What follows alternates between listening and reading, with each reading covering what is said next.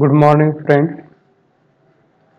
Today we have discussed about the CRD design which is related to the statistic in agriculture.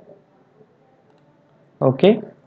You can see here the sheet of the CRD design. This design formulated by the scientist and now explained by the Navnath P. Khade and et al. Okay, now we can see here the CRD. CRD means complete randomized design. CRD design having two types of problems. First is the equal number of replication and second is the unequal number of replication now we can see here the NCRD design. We are not consider the replications because there is no requirement of replication. Here is observations and mostly this design is used for the laboratory experiments. Where the data or the experimental material or unit is homogeneous okay now you can see the, this design is the same like the RBD design. Okay. Here is only RBD design and CRD design difference is RBD having a replication effect elimination and in CRD that things is doesn't. Okay. Now you see here the treatments then replication one two three whatever it may be then uh, treatment total you can see here the formula. You know about the sum of these three values is coming here. Then average sum divided by replication called as a treatment average. Here is no requirement for the replication.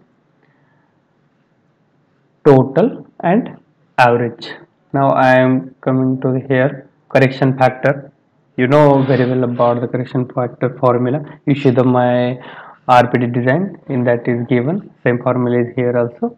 Only difference is when uh, here is a unequal number of replication. That time is the difference for the replication number. Okay. Now you see here the formula sum of square f16 you see here the f16 means grand total then divided by number of replication or total number of observation.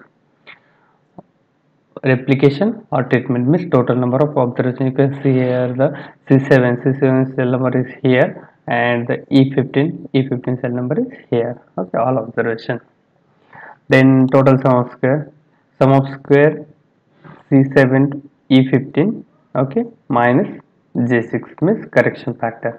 Then treatment sum of square also same formula sum of square of treatment values f7 f15 okay you can see here f7 f15 now divided by the number of treatments or number of replication minus correction factor.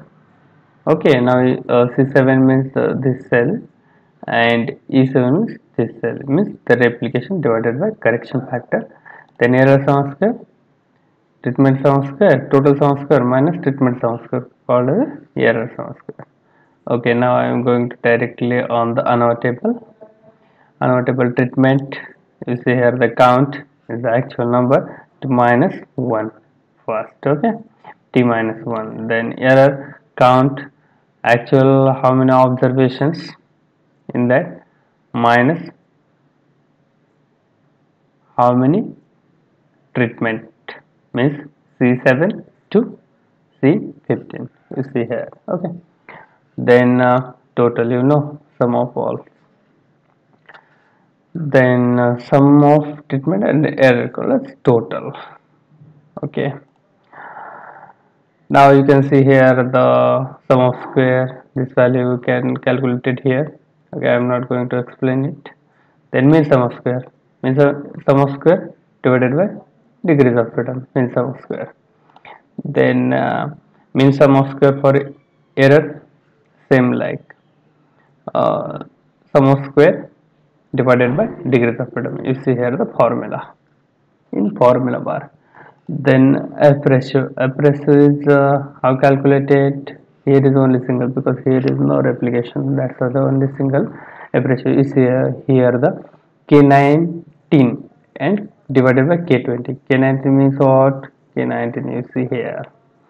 Means mean sum of square due to treatment.